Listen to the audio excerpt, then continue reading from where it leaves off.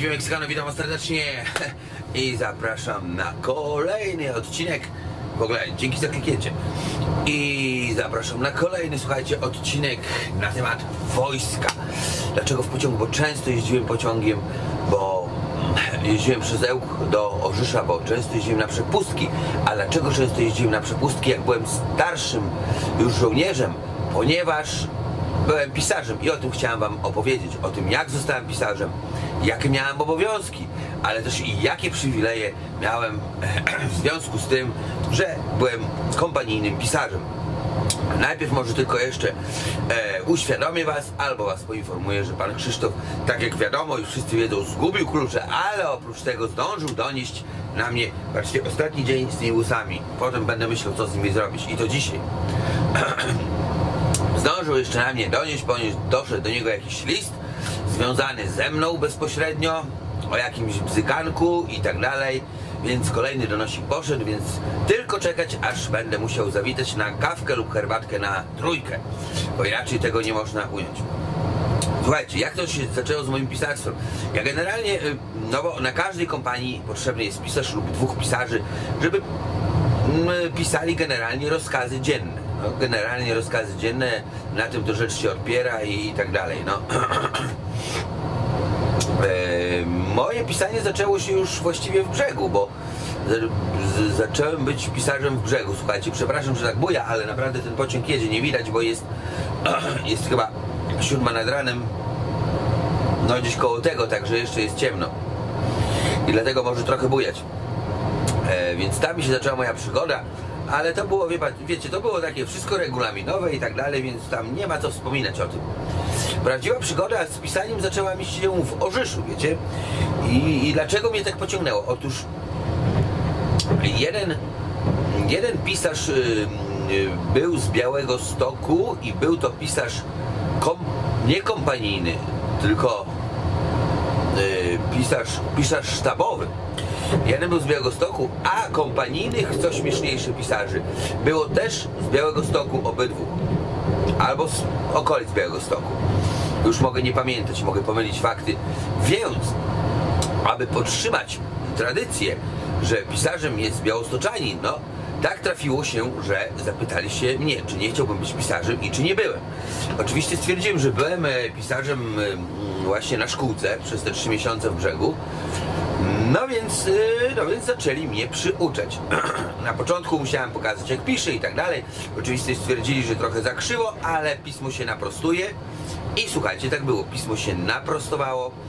Zacząłem powoli pisać różne pierdoły, nie pierdoły i tak dalej, i tak dalej. Przez to miałem ogromne kłopoty w związku z falą, ponieważ jak wiadomo, pisarz pisząc czasami jest zwalniany z różnych zajęć ćwi ćwiczebnych albo jakiegoś biegania, albo jakiegoś pierdzenia, albo coś innego. Więc moi dziadkowie dobrze o tym wiedzieli no ponieważ mój pisarzem moim był dziadek.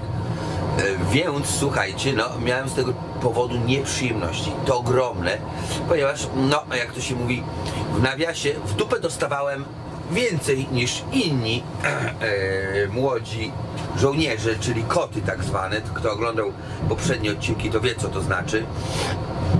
Pewnie zaraz przyjdzie pan z bilety sprawdzać, będę musiał pauzę zrobić. Zazwyczaj mam takie szczęście. Więc słuchajcie, no cóż, mm, na początku było ciężko. Nie dość, że dochodziło pisanie, to nie byłem zwalniany z żadnych obowiązków, ani z rejonów, ani z niczego. Yy, no i jeszcze miałem dołożoną podwójną falę, można tak powiedzieć, bo, bo właśnie przez to strasznie, strasznie byłem karcony przez, yy, przez moich dziadków, bo oni dobrze wiedzieli, jaki potem miał potem luzy. No i słuchajcie, tak też się stało.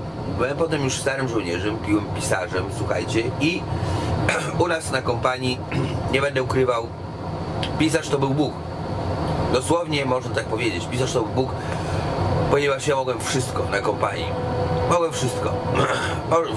Prawie wszystko. Ode mnie, słuchajcie, zależało kto jedzie na przepustkę, a kto nie. Nie od dowódcy kompanii, tylko ode mnie. Dlaczego ode mnie to zależało? Ponieważ ja ustalałem służby służby na weekend. I wiadome było, że jeżeli ktoś dostanie służbę na weekend, czy to na sobotę, czy na piątek, to i tak będzie w sobotę schodził ze służby, yy, czy na niedzielę dostanie służbę.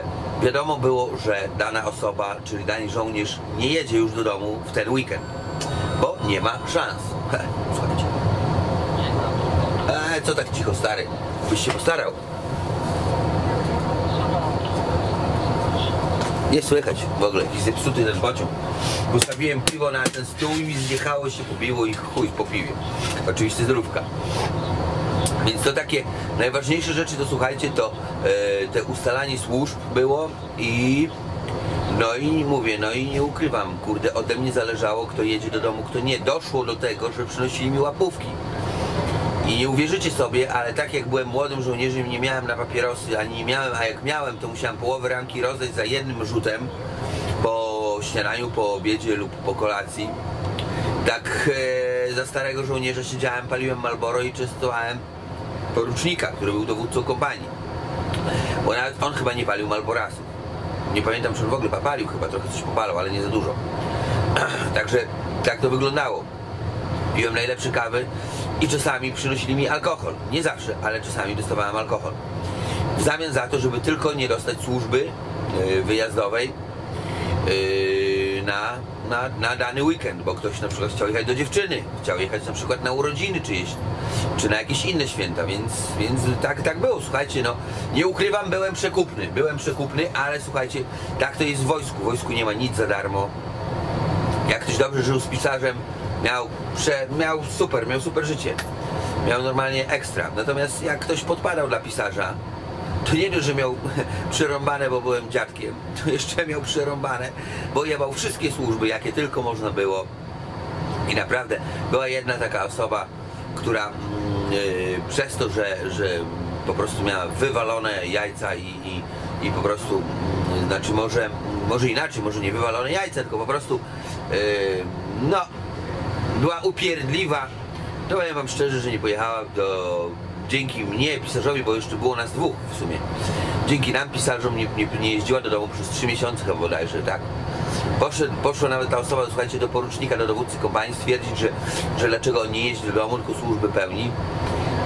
Na co porucznik stwierdził, że to nie jego robota, to trzeba iść do pisarzy. Tak było, słuchajcie. Na przepustki jeździliśmy co tydzień, regularnie, regularnie co tydzień. Yy, mieliśmy sobie powbijane po dwa urlopy yy, okolicznościowe czy coś takiego. Dało się zrobić. Wiadomo, jak to pisarz, dostęp do wszystkich dokumentów, jakie tylko były. Naprawdę tak było, no słuchajcie, nie mogę wszystkiego mówić, bo jeszcze gdzieś żandarmeria się zwali na łeb. Ale, ale tak było. Pisarz był Bogiem, słuchajcie, robił wszystko. Kancelarię miałem tam, gdzie chciałem i i słuchajcie, yy, paliłem, piłem i się nie goliłem i będziemy zaraz chyba sprawdzać bilety. Chyba tak. A nie, jednak nie, jednak nie. Więc, yy, więc naprawdę powiem wam szczerze, że yy, no, no, miło wspominam to, bo nie miałem problemu z wyjazdami, z urlopami nagrodowymi i innymi pierdołami. Tak samo zaprawa poranna mnie omijała, absolutnie nie musiałem stawać na żadną zaprawę poranną, yy, no bo sorry, po co? Dlaczego mam wstawać, jak muszę iść pisać? Tak samo często się żeśmy z pisarzem migali, na przykład z jakichś zajęć taktycznych, ponieważ my i tak już wiedzieliśmy, a stare wojsko u nas to wiecie, tak ćwiczyło, jak to się mówi, na 10%, więc kurwa praktycznie w ogóle kiedyś wywieźli nas na poligon jako starych żołnierzy, zachlanie oczywiście stwierdzili, no teraz stare wojsko pokaże jak się wychodzi z okopu. Słuchajcie, wyobrażacie sobie jak stare wojsko wychodzi z okopu, gdzie kurwa ma wszystko wywalone na jajca. A nie, że ma wywalone jajca, no to okopy pierwszy raz chyba tam byliśmy, tak jak mówiłem. Poczekajcie. No i wyobraźcie sobie jak takie wojsko wychodzi, gdzie kurwa nie że staliśmy w płocie, te okopy były dosyć wysokie, ledwo żeśmy się, a to jeszcze Oprócz tego jeszcze mieliśmy takiego kaca giganta totalnego, wszyscy, tam nas chyba było czterech, żebyśmy ledwo wyleźli z tych okopów. I co dopiero naprzód biegiem marsz, jakbyśmy to usłyszeli, to żeśmy tam chyba, nie pamiętam, chyba w Brecht poszliśmy, więc było komenda padni. to wiecie jak padaliśmy na plecy, na plecy rozłożone ręce i, i, i tak o, albo tak i leżeliśmy. I, i nikt nie miał zamiaru się czołgać, nikt. Także dlatego omijały nas też te zajęcia taktyczne, ale e, inni żołnierze z naszego poboru, no było nas mało, tak jak mówiłem, no to chodzili na te zajęcia taktyczne, my natomiast nie musieliśmy, bo musieliśmy spisać rozkład dzienny, który był do spisania bodajże o 11 godzinie